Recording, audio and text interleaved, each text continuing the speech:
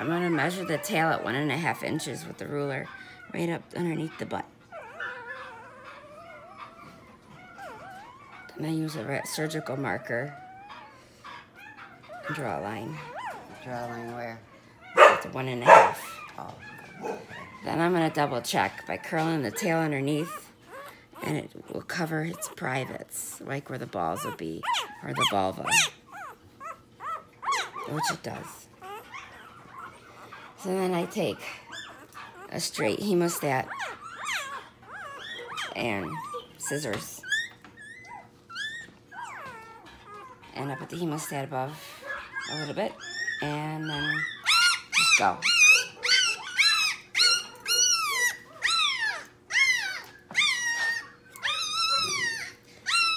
And then I leave it on for about a minute so it stops bleeding.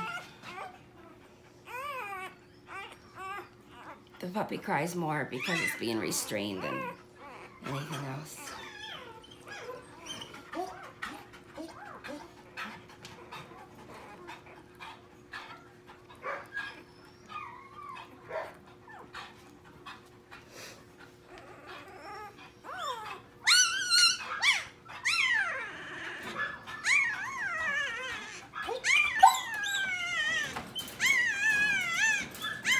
the end of the world.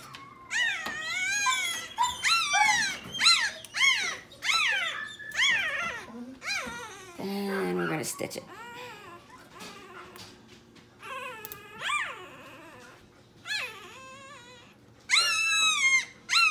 So I go once.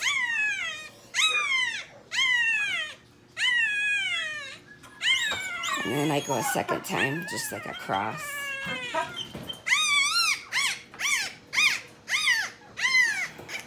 You gotta hold it a little better, Mom. They're squirmy, you gotta hang on.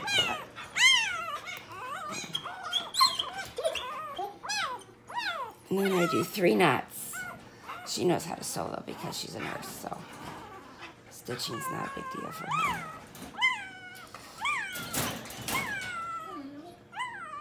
And I'm not hanging on to it good today.